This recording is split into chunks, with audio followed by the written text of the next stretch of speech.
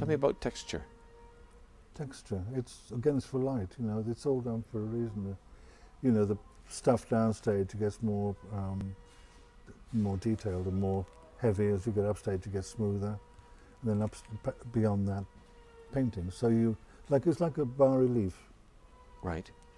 and where what what light sorts out. You know, whatever light catches, you look at it and. And there's more texture downstage because the audience is closer Depends to on it. what They you're doing. Depends, yeah. Depends and it smooths out as you go further away from that's the audience. Mostly, that's sort of classical, Right. classical bas relief, you know. Uh, a classical shadow box or a classical. I mean, the ancients have done it. All I'm doing is, is revisiting the old world, which I love. I'm The old so world is full of marvelous tricks, marvelous, marvelous tricks.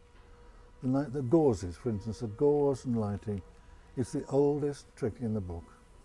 It's hundreds of years old, and still, you put a gauze on stage, bring up the lights behind it, and it's magic.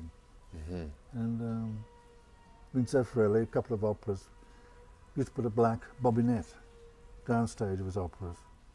Fine, fine, fine, fine, fine black film. And then the singers, they perform behind that. Mhm. I wouldn't, psychologically for a singer it's not good, but for the audience it's magic time because all the edges are softened.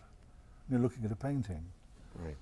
And that's what I'd like to think I can do is make it look like a, a you know, depending on the piece, like a painting.